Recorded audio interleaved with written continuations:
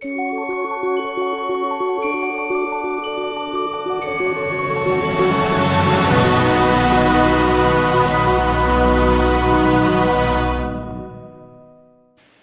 qui. Buonasera, buonasera a tutte, buonasera a tutti. Salve, salve, salve, salve. Mi sentite? Mi sentite, mi sentite, mi sentite?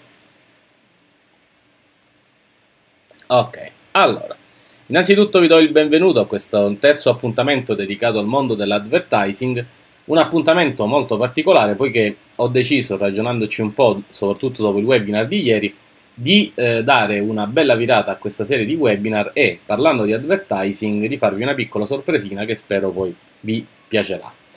Ehm, l'ultima volta che ci siamo eh, sentiti rispetto a questo tema avevamo iniziato a eh, introdurre il tema dell'advertising sotto l'aspetto pratico-realizzativo ed è per questo che mi è venuto in mente di sviluppare comunque una sorpresina che in qualche modo in anteprima vedete all'interno della cover di questo, um, di questo webinar. E tra poco ne parleremo. Prima vedremo innanzitutto comunque aggiungerò qualche cosina rispetto ai temi trattati la volta scorsa, dopodiché ci dedicheremo a questo progetto e inizieremo con una cosetta che adesso poi vi andrò a spiegare. Prima di cominciare, come sempre, vi ricordo, se siete al primo webinar, che potete utilizzare la chat a sinistra per interagire con me e tra di voi e che soprattutto che fa un caldo bestia, quindi se, se mi sentite leggermente spompato è dovuto al caldo. E, ehm, e, poi vi ricordo anche che alcuni link dedicati a questa serie li ho già messi all'interno della community Google e ho appena finito di caricare anche i link di ieri sera, che poi ieri sera sono crollato sfatto, quindi non ho fatto in tempo. Eh, se qualcuno ha qualcosa da chiedere rispetto ai webinar, ben venga, se no, dopodiché iniziamo subito a, a, con la nostra lezione di questa sera. Immagino che non ci siano domande, come sempre, quindi direi che possiamo anche iniziare. E un'ora Enrico, e i webinar eh, in questo momento stanno durando sempre un'oretta, minuto più, minuto meno. Per, fino adesso sono stato bravo, dai, nessuno ci credeva che sarei riuscito a farlo durare un'ora, invece pian pianino comunque, vabbè dai, rispetto ai webinar della scorsa volta, che, della scorsa stagione che duravano due tre ore, eh, eh, voglio dire. Sì, Roberta, vai, vediamo la domanda di Roberta.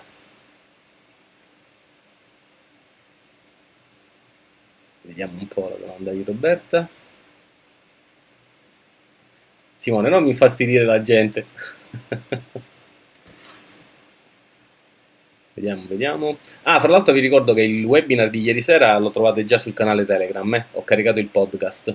Poi più tardi mando via newsletter la notifica di link e podcast alla lista di ieri. Roberta, ieri hai detto che Eventbrite funziona anche da sito, in che senso? Nel senso, quello che volevo dire è che, eh, diciamo, in generale, fondamentalmente all'interno del profilo di Eventbrite, se vai a vedere la pagina di artlandis.eventbrite.it, in sostanza lì trovate una serie di informazioni ad ampio spettro che riguardano sia un piccolo abstract di chi è Artlandis, dei webinar, eccetera, sia la lista dei link che fanno parte del network di Artlandis, quindi fondamentalmente è quasi come avere una landing page, tanto più che io mi muovo ovviamente prevalentemente attraverso gli eventi dei webinar che vedete lì, che mi fanno anche da newsletter, quindi è un po' come avere, passami l'espressione, una sorta di blog che eh, potrebbe tranquillamente sostituire eventualmente eh, l'ausilio di una landing page, per così dire, ma ovviamente era come posso dire, una semplice rappresentazione del concetto che abbiamo sviluppato insieme ieri sera, niente di più. Figurati. Ok, allora, interrompiamo la condivisione e passiamo a quella dello schermo.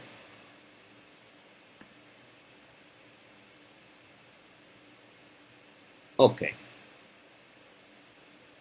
Ditemi se riuscite a vedermi correttamente, a sentirmi ugualmente in modo corretto.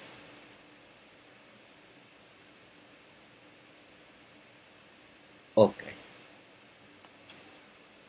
Allora, prima di tutto vi volevo segnalare il, il link del webinar precedente.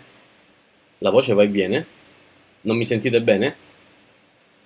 Ah, ok, forse perché stavo caricando l'immagine. Dicevo, eh, su YouTube era già presente il webinar 20 principi della comunicazione visiva. Oggi ho caricato anche le slide che a suo tempo mi ero dimenticato di pubblicare e che in effetti contengono tutta una serie di riferimenti ai quali ehm, mi ero rapportato durante la prima lezione. Ovvero, quando parliamo di advertising, inevitabilmente dobbiamo anche riferirci al fattore eh, costruttivo estetico e esistono una serie comunque di regole che fanno in qualche modo da eh, punto di riferimento rispetto a quelle che sono le attività che andiamo a sviluppare. Le 20 regole che tante volte ho citato, alla fine eh, riguardano, eccole qua, re, eh, dove diavolo sono, eccole qua, riguardano ehm, giusta, il giusto metodo, il giusto approccio per riuscire in qualche modo a orientarsi soprattutto quando si progetta a livello grafico. Non dimentichiamoci che va bene teorizzare, però è fondamentale quando si lavora riuscire in qualche modo anche a eh, mettere in pratica ciò che abbiamo imparato e ovviamente all'interno del mondo della costruzione visiva che riguardano parecchio il mondo dell'advertising diventa poi fondamentale riuscire in qualche modo anche a ehm, orientarsi nella eh, serie infinita comunque di riferimenti che il web ci offre. E come vi dissi a suo tempo frutto di un libro che avevo acquistato in lingua originale che poi è stato anche tradotto in italiano mi, me lo chiese anche Damiano ma mi sono sempre dimenticato di darti il titolo Damiano poi lo metto a fine webinar all'interno dei link e questo libro raccoglieva nella maniera secondo me più adatta quelli che erano i concetti chiave legati proprio al mondo della costruzione visiva. Non si parla solo di grafica, ma si parla proprio di linguaggi visivi. E all'interno del webinar che trovate su Google Plus Community eh, ci sono comunque tutte queste informazioni spiegate uno per uno, quindi la prima cosa che vi volevo segnalare era questa. La seconda cosa importante della volta scorsa ehm, in pratica eh, devo ringraziare Kai Lu Orrei, mi sono scritto il nome perché non me lo sarei mai ricordato, che mi segnalava che in effetti eh, per movimentare le, lo strumento delle griglie che abbiamo visto all'interno di Photoshop, o meglio della taglierina, è sufficiente eventualmente interagire con Shift più O per modificare in pratica l'aspetto della taglierina senza ruotare necessariamente l'immagine. E quindi una, una bella segnalazione, insomma, eh, della quale ri, le, le, eh, ringraziamo insomma Kailu. E, ehm, mh, altra cosa molto importante, vi ho messo anche, adesso vi girerò un, questo link, è un link referral e in sostanza mi è caduto l'occhio mentre diciamo, mh, insomma, preparavo i materiali dei webinar all'interno di questo piccolo, mh, diciamo, questa piccola raccolta di griglie che vi faccio anche vedere, si tratta di una serie di griglie che fondamentalmente non, non rappresentano nulla di trascendentale, sono cose che potremmo realizzare noi stessi, ma che tutto sommato potrebbero eventualmente aiutare chi magari con le griglie è poco avvezzo, ecco con le guide è poco avvezzo e in effetti l'ho acquistato anch'io giusto perché prima di suggerirlo voglio sempre provare lo strumento e si tratta di griglie che vengono fornite in eh, Illustrator, in Design e mi sembra anche in EPS e mm, dedicate a tre formati chiave tra quelli che ovviamente si utilizzano anche all'interno del mondo dell'advertising. Ve lo segnalo perché potrebbe essere veramente utile. Quando abbiamo parlato la volta scorsa, non mi sentite? Mi sentite? Ah sì? Strano, aspetta, fatemi controllare un attimino la connessione, ma... Boh, qui sono in LTE, quindi sicuramente allora sarà la piattaforma che ogni tanto ballonzola un po' quando muovo magari la pagina. Stavo dicendo la volta scorsa, abbiamo eh, iniziato a parlare di quanto sia importante l'uso delle griglie, perché in effetti al di là delle regole che vi ho eh, anticipato poc'anzi, eh sì, infatti Simone, sì, avevo intuito anch'io che era dovuto al movimento. Dicevo, al di là delle regole che ci tocca applicare per riuscire a gestire i tanti elementi che compongono i nostri visual, dobbiamo ricordarci che però questo genere di ehm, elementi vanno tutti a depositarsi all'interno di una griglia e tante volte abbiamo parlato dell'importanza delle griglie proprio perché ci aiutano a gestire gli spazi, non solo quelli all'interno dei quali posizionare gli elementi, ma anche eh, ci aiutano a gestire i cosiddetti vuoti creativi, cioè quegli spazi che in effetti non contengono nulla, ma che visivamente hanno il potere di spostare la vista dell'osservatore verso il punto che più ci interessa. E chiaramente si tratta di eh, una um, comprensione che man mano sviluppiamo nel tempo a furia di utilizzare, di educare noi stessi nell'utilizzo di queste griglie. Però ecco, lo stimolo che vi do è proprio quello di cercare sempre di sfruttare al massimo sia le griglie che ci offre ad esempio Photoshop, sia strumenti come questo, ce ne sono anche parecchi gratuiti online. Fondamentalmente quando cercate delle griglie su Google la maggior parte dei risultati sarà legata prevalentemente alle griglie lato web, però se scavate bene, poi eventualmente qualche altra risorsa ve la metterò online io, troverete tutta una serie di punti di riferimento che vengono forniti o in vettoriale oppure direttamente come dei PNG con trasparenza, in modo da poter essere applicati all'interno dei nostri elaborati. Volevo anche mostrarvi, come vi avevo anticipato la volta scorsa, mi sto zitto mentre mi muovo, volevo anche anticiparvi la bozza di un progettino che ha dato poi il via al progetto che questa sera inaugurerò con voi e che porterò avanti nelle tutte le lezioni, le lezioni dedicate all'advertising, un argomento che in effetti poi si incrocerà più volte con le altre serie di webinar che già stiamo seguendo. E, ehm, però andiamo un attimino per gradi. Qualche tempo fa sviluppai un tutorial eh, per eh, gli amici di Fotolia legato proprio alla costruzione di un, una serie di visual di una campagna advertising per un soggetto completamente inventato. Questo soggetto, eccolo, trattava praticamente della trama di un film, in realtà un film inesistente, e all'interno del tutorial che poi vi linkerò, che adesso vedete in anteprima, fondamentalmente seguivo quelli che sono i presupposti che abbiamo visto all'interno della prima mappa eh, che vi ho mostrato durante la prima o seconda lezione, adesso non ricordo, e che ci aiutano anche a capire quali siano gli step operativi per produrre una locandina che sia significativa al fine ovviamente di rappresentare il concept che ci interessa. Questo tutorial per quanto semplice mi ha dato il là al progetto di cui tra poco vi parlerò.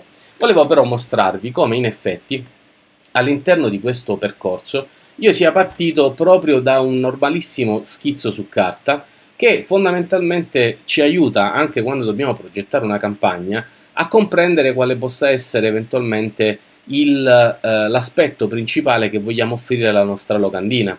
È chiaro che nel momento in cui si comincia a sviluppare un visual, se stiamo parlando di un visual che andrà a finire all'interno dei social, del web o anche all'interno di una campagna gestita da terzi, il problema per noi riguarderà esclusivamente la produzione del soggetto visivo e basta. Nel momento in cui invece dobbiamo cominciare a prevedere gli spazi, ad esempio per la headline, gli spazi per il logo, le dinamiche gerarchiche che ci permettono di leggere i contenuti della locandina eh, stimolati da quello che effettivamente da quello che sarà il lavoro del grafico, del creativo, allora già lì dobbiamo necessariamente tenere in fortissima considerazione le regole di cui parlavamo prima regole che ci aiutano ad esempio a capire quanti font utilizzare, che importanza dare al testo, che importanza dare al colore, che importanza dare agli spazi, alle simmetrie, agli elementi in uso. E all'interno di queste fasi di produzione esiste appunto quel, eh, quegli, esistono quegli step operativi che avevamo visto la volta scorsa. Faccio un esempio veloce che poi comunque andrò a esplicitare meglio nel, nel presentarvi il progetto che condivideremo insieme di lezione in lezione. All'interno di ciascun progetto è chiaro che la prima cosa che si fa è cercare di capire quale debba essere il famoso mood della situazione. Io quando progetto ad esempio una campagna advertising mi preoccupo parecchio di selezionare prima di tutto il mood perché? Perché il mood, cioè le, eh, il tipo di emozione che devo suscitare con immagini, toni, colori e quant'altro, al di là dell'essere poi captato, come abbiamo visto ieri, da un film piuttosto che da una immagine che ci fa da punto di riferimento per i colori, esso diventa in qualche modo anche la soluzione estetica e la scelta lato fotografico o elementi grafici che siano, che poi andranno a comporsi, a organizzarsi all'interno, ad essere organizzati anzi da noi all'interno del nostro visual. Nell'esempio che state osservando, la prima cosa che io feci, una volta identificato il tipo di soggetto, cioè un film dedicato ad una sorta di Amélie contemporanea, mi riferisco al film Amélie, e identificando ovviamente il personaggio in un contesto particolare che era quello di una sorta di caffetteria gestita da questa ragazza così sognante, alla fine eh, ho iniziato appunto a cercare degli oggetti, delle immagini che fossero in grado di sviluppare questo mood di cui si sta parlando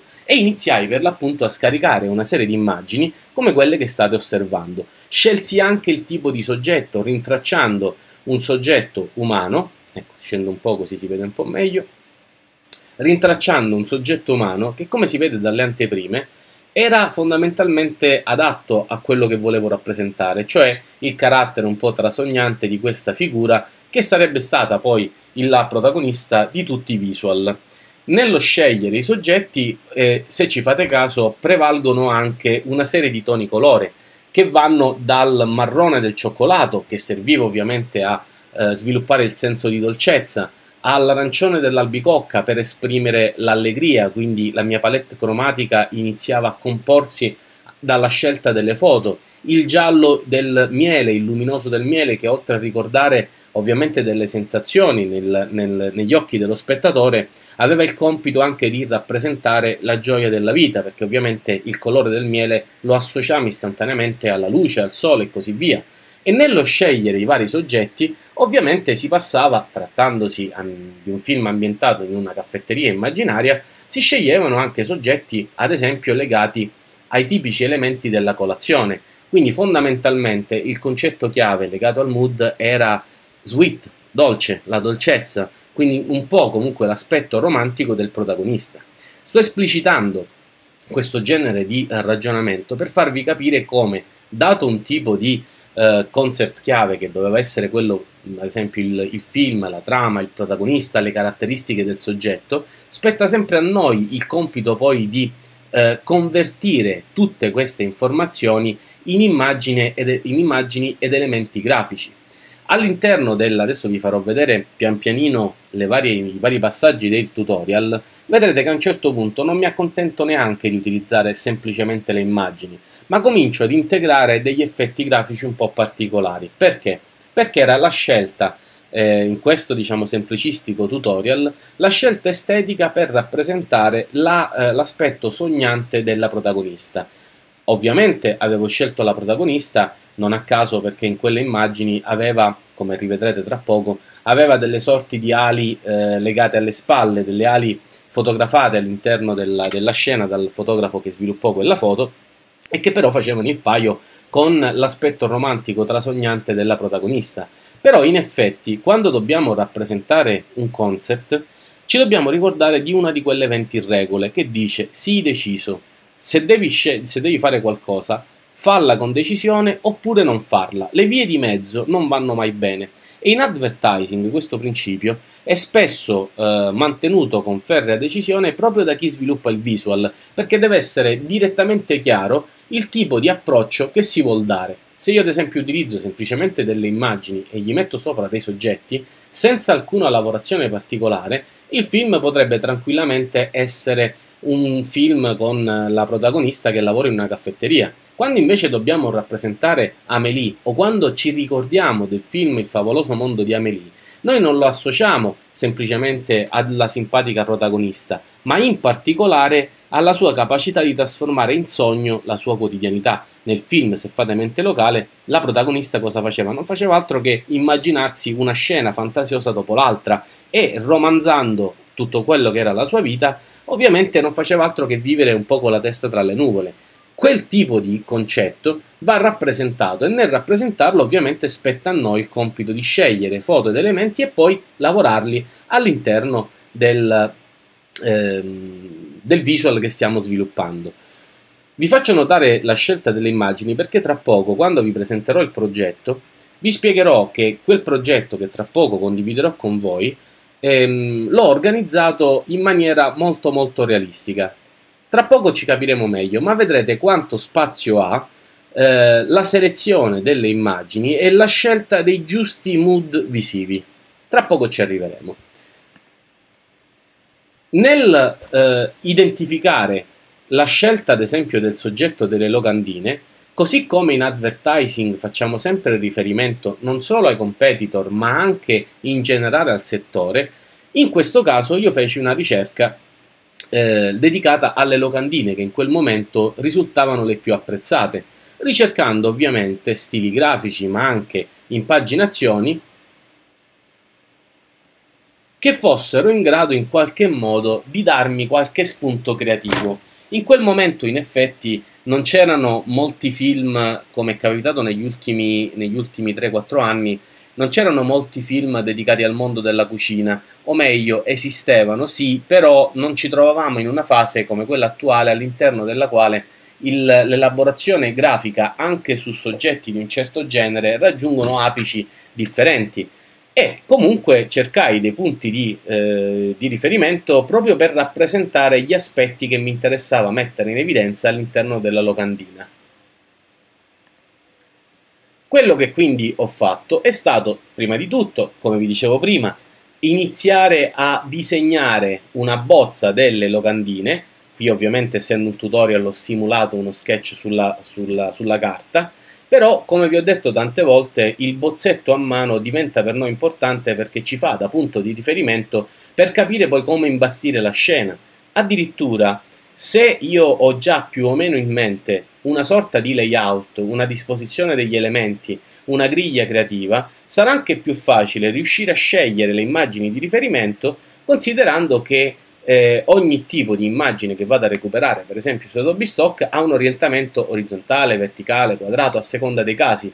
Questo genere di soluzione mi facilita il flusso lavorativo e non è da sottovalutare. Nella produzione, ecco qui, nella produzione del lavoro in sé, ovviamente io qui sono partito da una griglia estremamente semplice, cioè la divisione in terzi di ciascun lato del mio foglio proprio perché il tutorial riguardava l'uso basico delle griglie. Questo ovviamente però è un approccio che può essere sviluppato in tutte le direzioni e una volta che abbiamo compilato, come possiamo dire, la prima fase dell'inserimento dei soggetti, ci aiuta parecchio poi intervenire con quelle griglie creative che abbiamo visto la volta scorsa, e cioè la regola, le regole fondamentali della composizione visiva tradotte nella regola dei terzi, nella diagonale creativa, nella spirale, a seconda ovviamente di ciò che più o meno ci viene comodo nel momento in cui andiamo a progettare. E fra l'altro ci tenevo anche a sottolineare una cosa che, di cui discutavamo con Kailu in privato all'interno della pagina. Eh, giustamente lei mi ha detto quando io la volta scorsa ho suggerito come metodo più pratico quello della diagonale creativa, per esempio, rispetto alla spirale, mi ha detto lei io non, non ero molto d'accordo perché effettivamente trovo più semplice la spirale. In effetti, tecnicamente parlando, sono anch'io d'accordo con lei, però dobbiamo ricordarci che non dobbiamo essere noi a forzare noi stessi nell'uso di uno strumento, anche quando quello strumento rappresenta in generale un, come posso dire, una regola quasi assoluta. Visto che ci sono delle alternative, quello che io solitamente suggerisco quando tengo dei corsi di advertising o di grafica è di cominciare con quelle griglie che sono alternative e che abbiamo visto all'interno di Photoshop essere disponibili nello stesso pulsante, quelle griglie che fanno al caso mio, cioè con le quali mi trovo più a mio agio, e pian piano iniziare a comprendere, per esempio, vedendo il risultato finale, come le alternative si applicano al nostro lavoro è un modo comunque per assorbire il concetto chiave, ad esempio dietro l'uso della spirale, evitando errori comuni che ho visto applicare online. Come vi dicevo la volta scorsa, ho visto tante volte la spirale, per esempio, applicata forzatamente a soggetti che non c'entravano veramente nulla con la spirale, perché si cercava appunto di infilarcela a forza.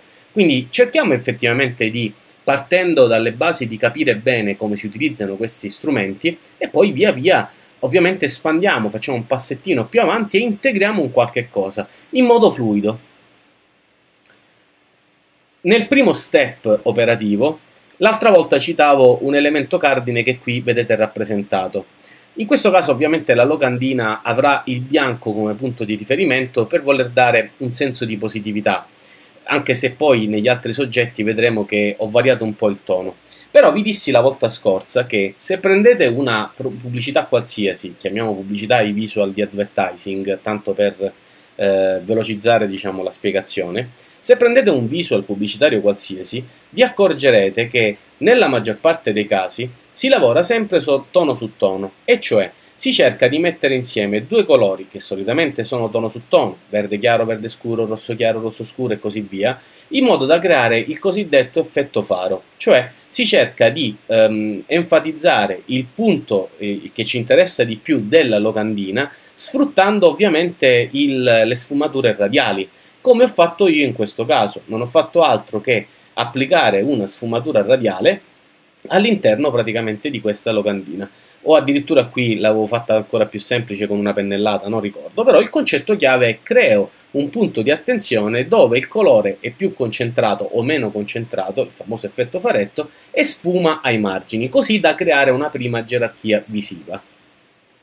Nel momento in cui poi inizio ad applicare i miei soggetti, ovviamente poi posso scegliere tutti i linguaggi visivi che voglio. Nel mio caso iniziai semplicemente, scegliendo quelle immagini, ad applicarle all'interno del visual.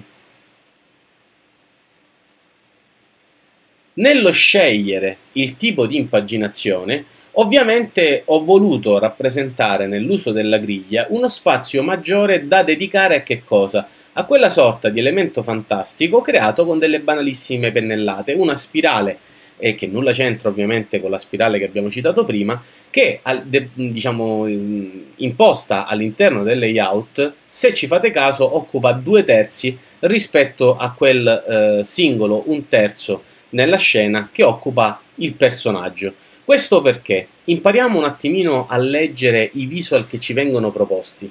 Il mio personaggio è un personaggio che vive con la testa tra le nuvole, il che vuol dire che la particolarità non è il concetto essere umano che sogna, ma il sogno in sé, cioè la dimensione fantastica. Per questo motivo il personaggio fondamentalmente è relegato all'interno della locandina come se fosse parte in causa del suo sogno, ma il vero protagonista dovrebbe essere proprio la somma dei suoi pensieri. Attenzione a questo tipo di, eh, di indicazione che vi sto dando, perché vi garantisco che si tratta di ragionamenti che vanno fatti ogni volta che creiamo qualcosa, cioè ci dobbiamo sempre chiedere chi è il protagonista del mio visual, perché la risposta a questa domanda non è così banale come si può immaginare. Nel mio caso, quindi ripeto, ho voluto utilizzare una spirale non regolare, perché ovviamente la dimensione del sogno non è mai né come un'immagine netta e pulita, e l'ho voluta rappresentare con quel tipo di segno grafico. Procedendo poi con l'elaborazione, ovviamente ho applicato a quel segno grafico una serie di, di, immagini per verificare quale potesse starci meglio e contemporaneamente ho sfruttato la mia griglia per eh, creare ecco, gli spazi che dovevano raccogliere eh, le informazioni principali legate alla locandina.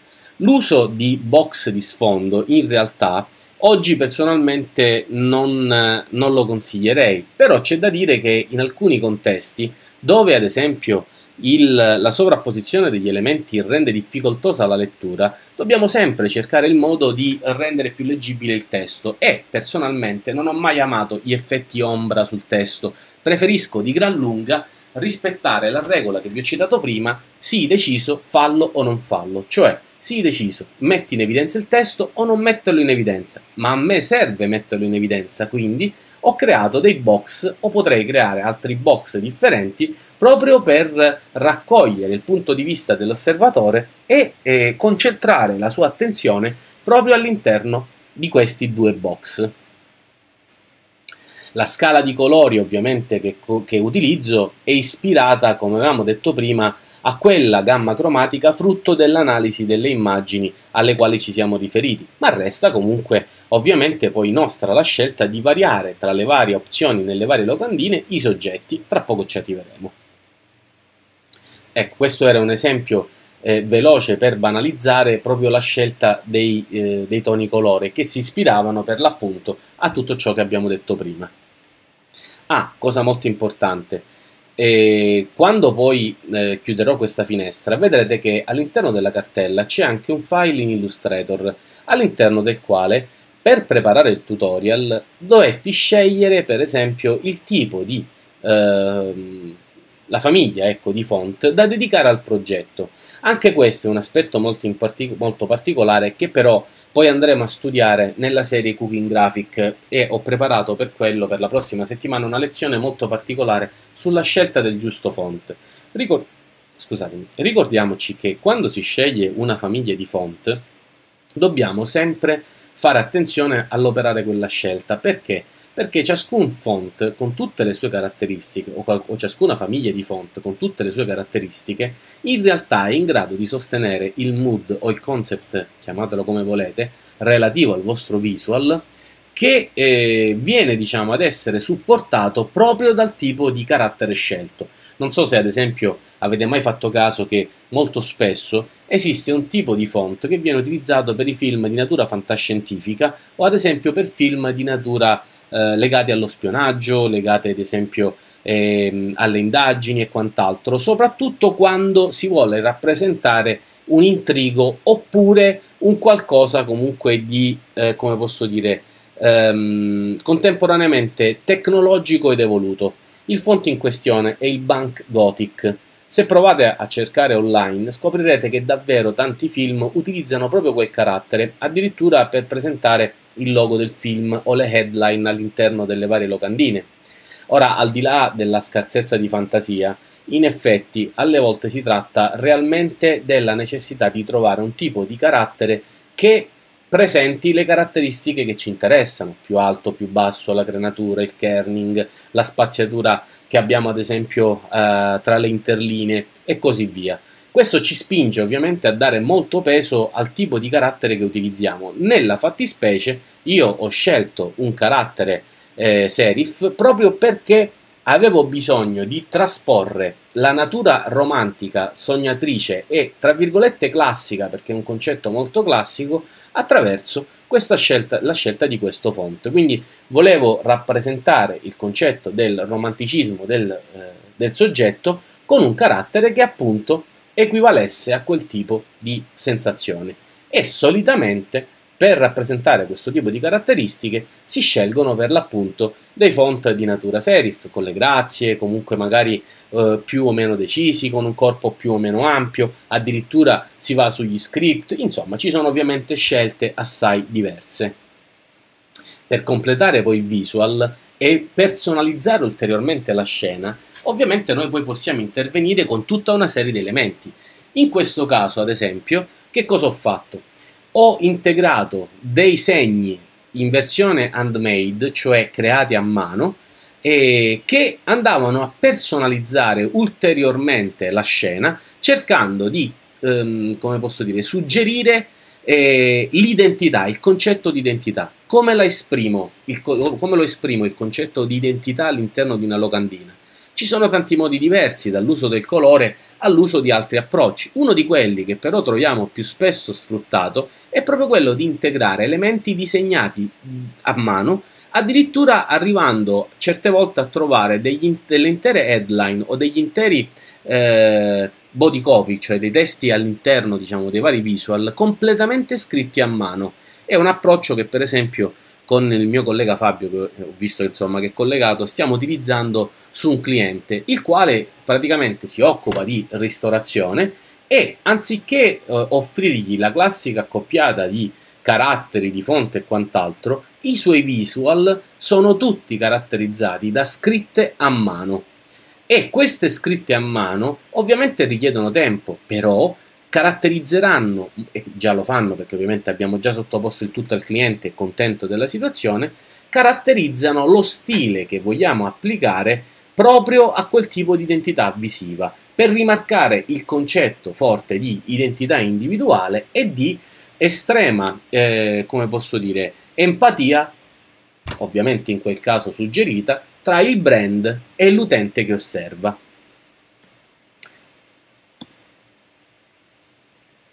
Questa ad esempio era una, una, delle varianti che avevo utilizzato velocemente. Ribadisco, è chiaro che, come ho detto la volta scorsa, realizzare un visual non significa semplicemente mettere insieme velocemente gli elementi.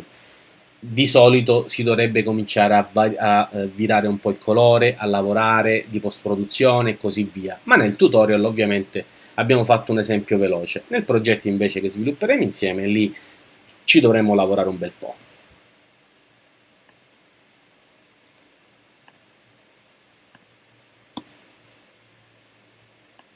I soggetti finali del nostro tutorial alla fine erano appunto questa serie di locandine.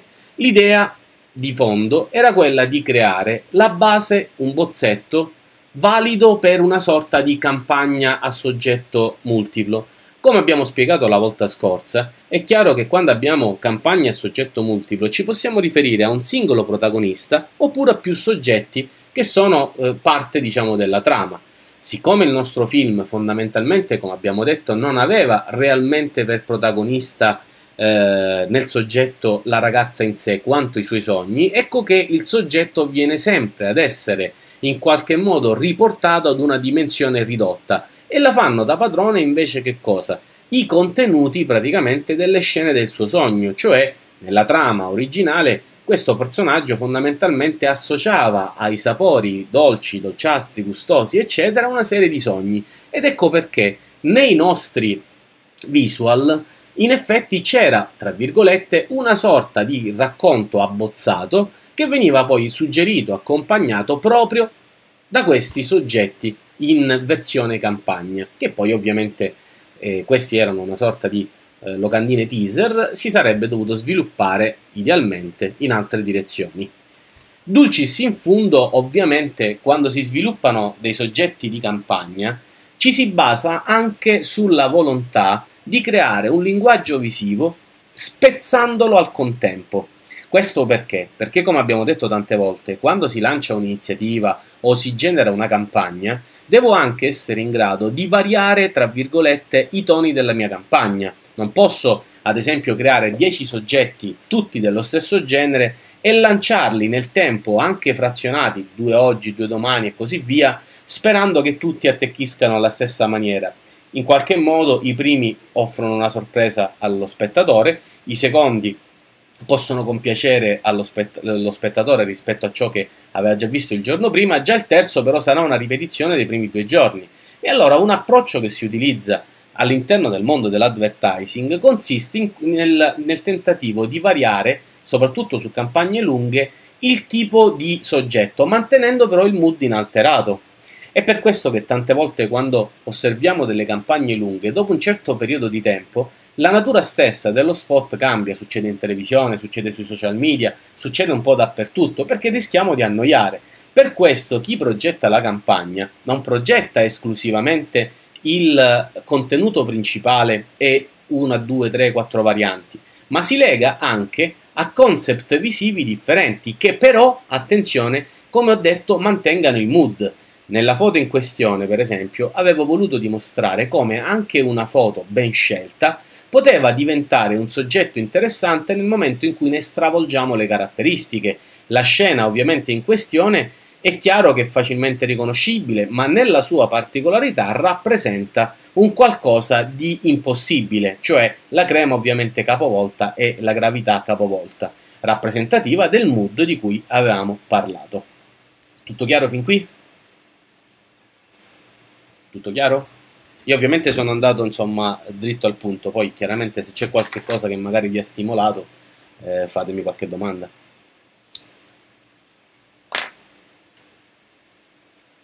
Tutto questo discorso va nella direzione che sono andato praticamente a sviluppare. Adesso seguitemi bene perché ciò che adesso vi andrò a presentare è un progetto del tutto simile a... Ehm, a quello che fu qualche tempo fa, furono anzi una serie di webinar concettualizzati all'interno di una identità non esistente che abbiamo utilizzato come traccia. Mi riferisco a quelli di voi che se lo ricordano a Creamy Wonderland. Piccolo, ehm, piccola parentesi. Tempo addietro, esatto, tempo addietro eh, dovevo praticamente creare una serie di webinar cercando di spiegare come si portava avanti una campagna dal punto di vista strategico, dell'identità, la creazione del logo e quant'altro. Anziché creare delle lezioni astratte, che purtroppo ovviamente sono in qualche modo eh, alle volte anche, non dico poco interessanti, però hanno poco appeal perché studiare i casi astratti è una cosa che fanno tutti, chiunque oggi eh, scrive un blog, scrive un ebook, eh, organizza video, webinar, conferenze, seminari, workshop, però in effetti il problema è che quando si astrae troppo il concetto, alla fine non si fa che ripetersi o, parlarsi, o parlarsi addosso. Io stesso non so quante volte ho ripetuto gli stessi concetti di webinar in webinar, però quando dovetti eh, raccontare quella serie di webinar decisi una cosa un po' diversa, cioè inventai di sana pianta un'azienda che non esisteva, le assegnai una vision, una mission, un logo, un'identità grafica, dei prodotti, dei servizi, addirittura ecco il rappresentante dell'azienda Ciccio Batocchio, un brief. E cercammo di sviluppare insieme tutte le caratteristiche che riguardavano questa azienda. Quindi ci confrontammo con una sorta di brief reale. Questi webinar, fra l'altro, li trovate ancora online. Anzi, poi, visto che li ho citati, li raccoglierò su Google Plus Community, così effettivamente avete anche dei riferimenti. Ho pensato in effetti che visto che dovevamo parlare di advertising e visto che di advertising ho parlato spesso negli ultimi due anni, ho pensato di creare un soggetto molto particolare, studiato nel dettaglio, quella che vedete è solo una mappa di anteprima, e da sviluppare insieme di lezione in lezione, un soggetto di natura cinematografica che ci dia la possibilità di sviluppare non solo l'advertising dedicato, ma di applicare quello che abbiamo detto ieri sera, dai video a 360 alle locandine cinematiche, eh, dai teaser a tutto il resto, audio incluso. Così ho pensato di collegare due serie di webinar in modo da mettere in pratica il tutto. E mm, no, troppo tardi Simone, me l'ero già montato da solo, ma dall'84. Allora, Innanzitutto vi spiego stasera, vi do i primi input che poi trasmetterò tramite SlideShare perché questa infografica che vedete la spezzetterò e la pubblicherò online e da quel momento in poi inizieremo a seguire il tutto. Ho già preparato anche una serie di riferimenti che troverete proprio in formato link. Allora, ehm, la sigla che avete sentito mh, mentre aspettavamo di iniziare il webinar era la, la soundtrack di un film che a me piace moltissimo che si chiama Strange Days, che vi invito a recuperare perché è un po' una chicca amata, diciamo, comunque dai cinefili e non solo. Un film fatto bene con, dalla regista Catherine Bigelow, che per chi non lo sapesse è la stessa del film Hurt Locker, che eh, insomma è una regista che io personalmente adoro. Ora, questo film aveva delle caratteristiche molto molto particolari. Fondamentalmente era un film di genere distopico che però riusciva a non eccedere all'interno praticamente della della sua trama. Non entro di più nel dettaglio perché poi il link eh, al film, a parte che lo potete sempre recuperare, però il link al film poi ve lo metterò online. Allora ho pensato di eh, vestire i panni di, un, di uno sceneggiatore ideale che ha deciso di fare un seguito ideale di Strange Days e chiamarlo Stranger Days, The Switchboard of the Soul. E cioè, ho preso una battuta del film e l'ho trasformata nella headline del mio film. Attenzione, in questo momento ci troviamo nella fase nella quale il cliente viene da noi e ci dice io ho un'idea, sto sviluppando un progetto, che può essere un'azienda, un brand o qualunque cosa. Noi lo seguiremo sotto questo aspetto, ma ogni presupposto che affronteremo riguarderà ugualmente anche la, uh, l'approccio, diciamo, uh, da, mh, che va gestito, ecco, l'approccio ideale da utilizzare in generale quando si affronta il tema dell'advertising. Bene, questo sceneggiatore eh, insieme con il regista entrano nel nostro ufficio e cominciano a dirci: Noi stiamo scrivendo questo film. Innanzitutto avremo bisogno di noi, di voi, cioè di, di tutti noi, diciamo come se fossimo una sorta di agenzia allargata, per sviluppare non solo la comunicazione, ma in generale anche la strategia promozionale attraverso l'advertising, che si tradurrà in visual veri e propri, e adesso poi vedremo anche in che senso, che si tradurrà poi in video, quindi seguiremo un processo che in effetti si svilupperà tra webinar, mini tutorial che pubblicherò nel famoso canale Vimeo che dovrei riuscire ad aprire entro breve e soprattutto attraverso una serie di slide che accompagneranno il tutto. Ma ho reso il progetto ancora più interessante perché seguiremo questo genere di eh, aspettate che non mi ricordo perché l'ho scritto, eccolo qua. Seguiremo questo genere di approccio sviluppando al contempo anche i canali social, così da seguire i vari passaggi del progetto come se idealmente tra una lezione e l'altra il regista e lo sceneggiatore andassero a comunicare con noi costantemente. Quindi ho costruito una sorta di percorso ideale che si concretizzerà anche all'interno di una, eh, diciamo, di una serie di elementi che vedremo con i nostri occhi, di canali proprio dedicati, che sono quelli appunto che avete visto in evidenza. Vi anticipo che Avete notato che c'è anche citato Beyoncé, perché vi eh, inviterò, chiunque abbia voglia di farlo, a partecipare a dire visivamente, esteticamente, qualsiasi, a qualsiasi livello, a dire la vostra.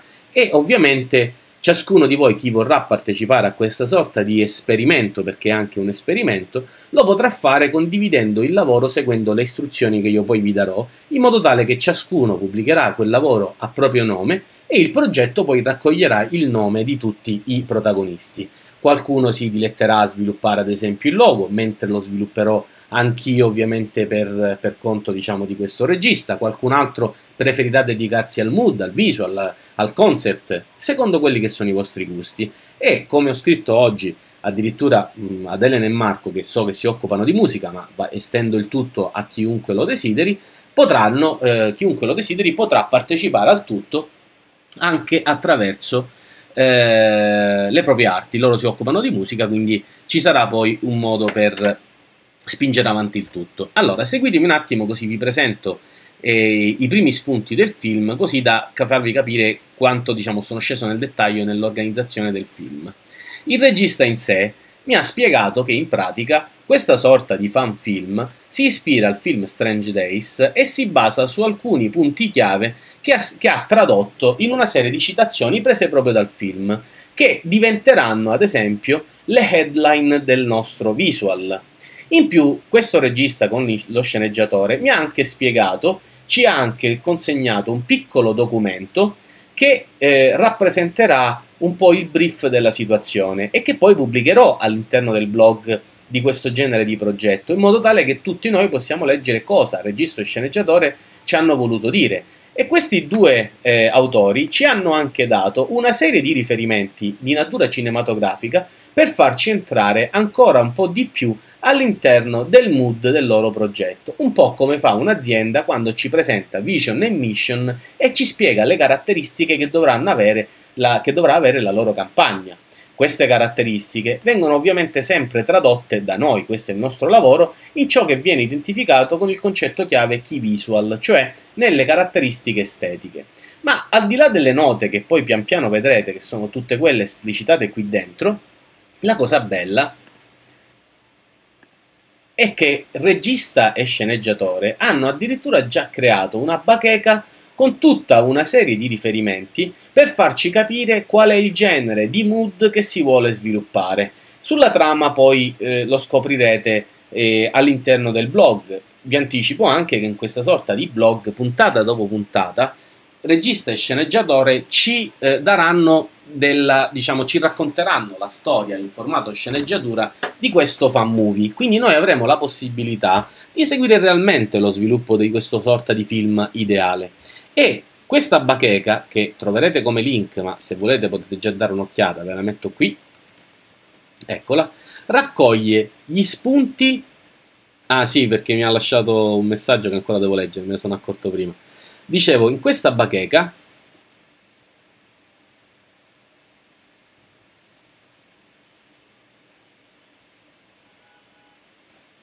trovate una serie di spunti legati al concept che il regista e lo sceneggiatore ci hanno già spiegato nel brief, perché non si tratta di un semplice film di natura distopica, cupo e tutto il resto. Chi ha visto il film Strange Days sa che dentro quel film c'era diciamo, un mood emozionale molto particolare che non era il classico film di natura triste come tanti distopici, ma era eh, in qualche modo infarcito di una serie di sensazioni legate ai sentimenti umani, al, agli esseri umani e le loro dinamiche, all'amore, alla speranza, perché no? Comunque diciamo alla possibilità di migliorare le cose e questo è un po' il mood che questi due autori, regista e sceneggiatori, vorranno dare. Non a caso nella selezione di immagini, che sono i soggetti di riferimento che in advertising corrispondono, come dicevamo, ad esempio ai competitor, al settore di riferimento, ai casi studio del passato, eccetera,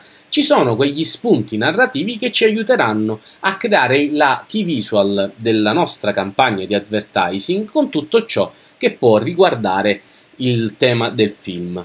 In più, non è finita. Gli autori in questione hanno anche raccolto in una libreria Adobe Stock una serie di riferimenti visivi per dimostrarci come, in effetti, possiamo già realizzare gli aspetti della campagna di advertising ispirati dai pin di Pinterest grazie alle foto di Adobe Stock. E dentro questa gallery fatta di 99 soggetti noi cominceremo, fra l'altro ognuno di quelli in utilizzo poi di volta in volta li condividerò con voi in modo tale che senza doverle per forza comprare possiate anche voi, come farò io, inserirle nelle collection e utilizzarle realmente. Quindi siamo nella fase in cui daremo i bozzetti al cliente e una volta che il cliente deciderà acquisteremo per esempio le immagini. Chiaramente lo farò io, ma uh, chi lo vorrà lo potrà fare anche di per sé. Dentro questa gallery, attenzione, parto dal basso,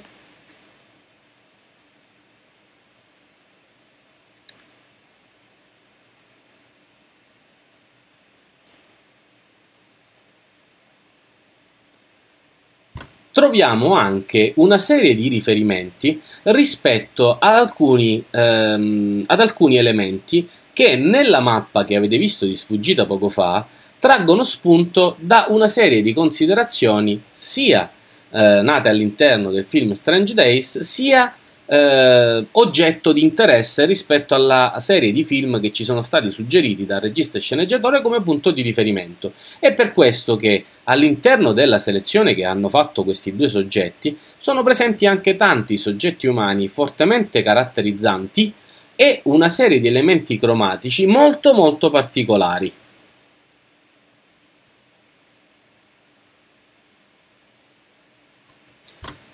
Il nostro lavoro, ovviamente, in questo caso, consisterà dapprima nel rapportarci rispetto a quello che solitamente sono visual e mission dell'azienda e che per noi invece si traducono appunto nel plot che è stato scritto per questa sorta comunque di produzione fan made che però vuole essere di natura professionale e che noi dovremmo tradurre, torno alla nostra mappa,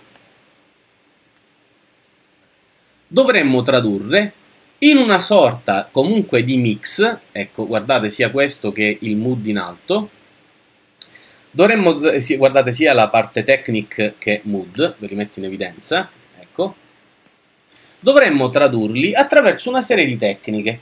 L'approccio ovviamente di natura distopico, fantascientifico, ma senza eccessi. Sceneggiatore e, e, ehm, e regista sono stati molto chiari nello spiegarmi che non vogliono in alcun modo eccedere sul lato fantascientifico, non ci sono alieni, non ci sono mostri, non ci sono robot, non c'è niente di tutto questo. Si tratta, seguendo il mood del film originale, di una realtà futuristica ma molto molto vicina a noi. Di conseguenza potremo sfruttare anche elementi che conosciamo bene, che ad esempio tradurremo nei video a 360 o in video interattivi di tipo particolare, come quelli di cui parlavamo ieri sera, nel trasformare le nostre visioni in qualcosa di un po' particolare. In più ci sono degli spunti legati appunto non solo alla tecnica, ma anche alla necessità di convertire in elementi promozionali ad ampio spettro quello che sarà per l'appunto il mood del film. Mi riferisco a locandine, a locandine animate, mi riferisco a rappresentazioni lato social, mi riferisco ad una strategia promozionale tipo quella ispirata a quella dei film cinematografici di cui parlavamo ieri. E perché no, ovviamente lavoreremo anche attraverso l'ausilio del flusso audio, quindi creeremo una nostra soundtrack e vedremo come e quanto un advertiser può eventualmente coinvolgere, oggi che abbiamo i mezzi a disposizione, una buona traccia audio non solo con l'uso della motion graphic, ma anche con l'uso ad esempio dei soggetti visivi quindi il nostro approccio sarà ovviamente quello di assecondare le richieste di questi due soggetti mettendo in pratica in sostanza il loro brief, che qui volutamente ho omesso e che poi vedremo un passo alla volta insieme. Si tratta ovviamente di un esperimento che condividerò con voi e che può crescere insieme a voi, quindi mi auguro che chiunque di voi lo desideri, insomma, abbia voglia di seguire questo genere di percorso, che tra l'altro eh, sarà, diciamo, anche poi eh, fatto convergere all'interno di un nuovo progetto sotto traccia che qualcuno di voi presente qui stasera, almeno tre di quelli che ho visto, conoscono bene. Una sorta comunque di progettino che anticiperemo nell'appetizer che probabilmente ci sarà la prossima settimana e che a settembre sarà pubblicato online e questo sarà proprio uno dei primi eh, approcci che sfrutteremo in questa direzione. In questo senso probabilmente mi avranno capito solo Simone, Fabio e Damiano. Comunque ne saprete di più tra poco. Riguardo i soggetti e gli attori, sì, li abbiamo intravisti all'interno della prima gallery di Adobe Stock e fondamentalmente li abbiamo già intravisti lì. Però eh, pian pianino poi sveleremo le caratteristiche. Ora, mh, mm, Elena, mi dai un ottimo assist per fare un ulteriore paragone, per affermare quella che reputo essere l'importanza di questo esperimento.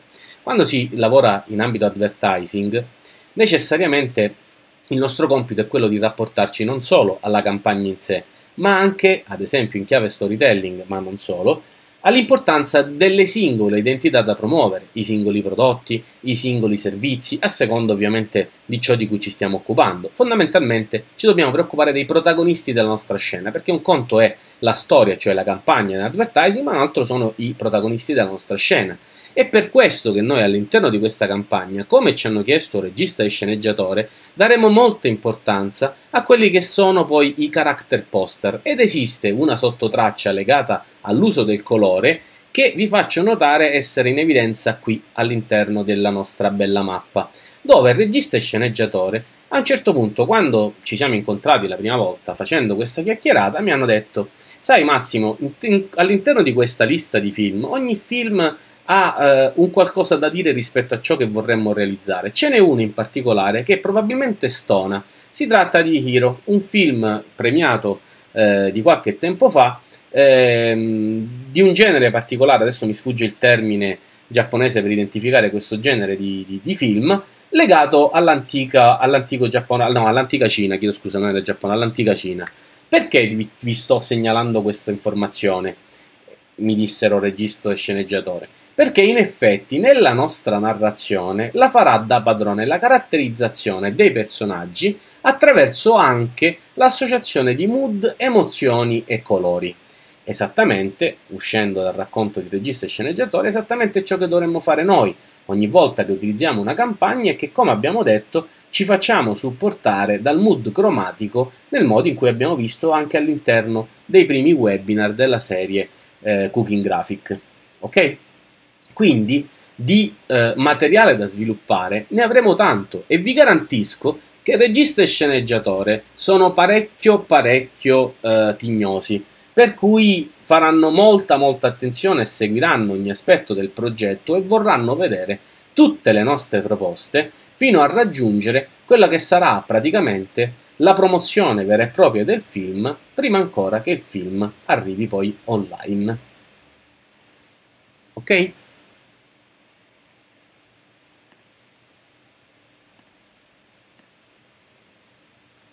Bene, questa era la sorpresina che avevo preparato per voi questa sera, che spero insomma vi sia gradita e che eh, in qualche modo poi accompagnerà eh, le prossime puntate del, eh, nell'ambito advertising. Quando ho detto che associeremo tutto quello che era il programma normale dell'advertising, ma in chiave pratica, mi riferivo a questo, proprio perché riflettendoci su, pensavo in effetti qualche giorno fa sì, ma se parliamo sempre di regole e visual, ripeto, mi basta linkarvi il webinar precedente, poi siamo sempre lì.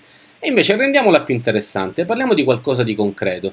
Ed ecco che ho creato per voi quello che è un soggetto molto molto eh, particolare, con una storia vera, con eh, pagine di sceneggiatura vera che leggerete, con soggetti veri, con un brand reale che addirittura avrà i suoi canali social e se poi il progetto funziona come vorrei, eh, magari ci metteremo su un bel caso studio con i nomi di chiunque abbia partecipato e dato il suo contributo all'interno. Elena, quando ho seguito l'azienda ho davvero sperato in una cosa simile ora che sono qui. Guarda, in realtà ti dico, eh, il progetto di, di, di Creamy Wonderland, eh, in realtà diciamo alla fine poi ha prodotto davvero tanto. Io in effetti non ho mai pensato di metterlo online, ma tutto sommato forse potrei anche farlo, anche per avere un paragone. In quel caso, eh, per chi di voi ha seguito i webinar, eh, realizzai davvero tutto quello che era l'identità dell'azienda, addirittura registrai i domini. Dovetti anche mettere anche i, come si dice, i, eh, dovevo, eh, dovetti montare il template in WordPress con WooCommerce, solo che poi praticamente non ho fatto in tempo, cosa strana per me che non riesco a fare una cosa, no? Eh, però voglio dire, al di là di questo, il resto dell'identità era tutta creata, abbiamo visto le dinamiche, la strategia ed era un caso abbastanza ampio. Siccome qui in effetti la parte più eh, fastidiosa, che è quella di mettere online il sito, non c'è perché ci muoveremo con una landing e con dei social, e soprattutto ci lavoreremo insieme, la cosa comincia a farsi un po' più interessante e anche più creativa. Ok? sì, Simone, mi piace vincere facile. Bene, a questo punto qui si conclude il webinar di questa sera. Ovviamente se eh, avete qualche domanda, anche ovviamente legata all'advertising, non tanto al progetto, sono a vostra disposizione e vi invito a tenere d'occhio non solo la, le newsletter che invierò, ma soprattutto il canale Google Plus Community e SlideShare perché in effetti molto probabilmente sarà diciamo quello uno dei principali supporti, ma non solo. Restate in attesa perché qualcosina ancora la devo definire, poi durante diciamo il weekend inizierò a mettere su i vari canali, quindi vi aggiornerò pian pianino di questo genere di, di approccio, di questo genere di iniziativa e insieme eh, cercheremo in qualche modo di portare avanti questo progetto che non vi nascondo mi emoziona anche un bel po'. Bene, detto questo, se non avete domande, io vi ringrazio di aver partecipato a questo webinar, spero veramente che l'idea di fondo vi sia piaciuta e vi aspetto allora numerosi nel partecipare a questo genere di iniziativa. Uh, Antonio, quali sono questi webinar già su YouTube dove hai fatto questo progetto esempio? Allora Antonio, guarda, gli esempi legati a Creamy Wonderland con tutti i riferimenti del caso e ve li metterò su Google Plus Community all'interno del canale Google Plus Community così in effetti troverete la serie di link eh, tutti in un unico post ben raccolti poi una volta che metto online questi riferimenti Comunque vi invierò una nuova newsletter eh, della lista, diciamo, advertising, così saprete che cosa ho pubblicato. D'accordo? Bene, mi fa piacere insomma che l'idea vi sia piaciuta. Di nuovo una buona serata e a presto. Ciao ciao!